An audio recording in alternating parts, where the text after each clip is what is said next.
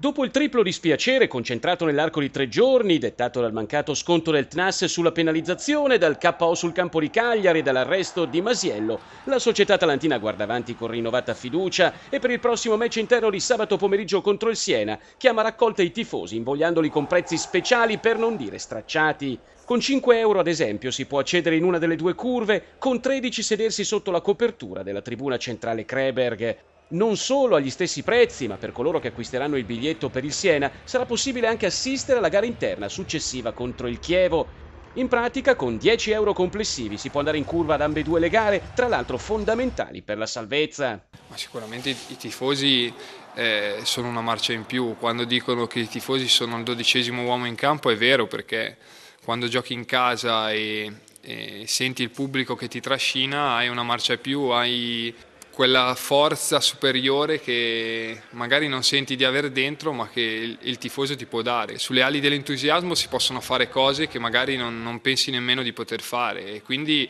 eh, noi speriamo e siamo convinti che sabato avremo una grossa mano dai nostri tifosi. Si continua a ripetere, siamo vicini a un traguardo importante, stiamo soffrendo da, da luglio eh, per cercare di, di, arrivare a questo grande obiettivo con, con questa penalizzazione.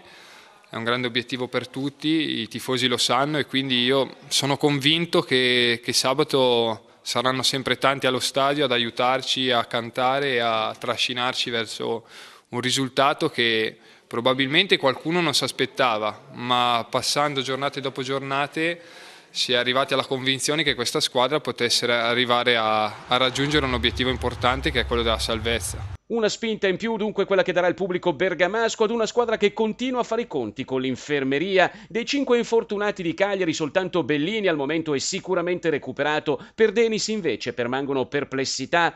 Molto più probabile che il Tanche possa tornare in campo nella partita successiva contro il suo ex Napoli. Buone notizie anche per Manfredini, il cui naso dopo lo scontro di gioco a Cagliari non ha riportato fratture e che dunque si sta allenando regolarmente.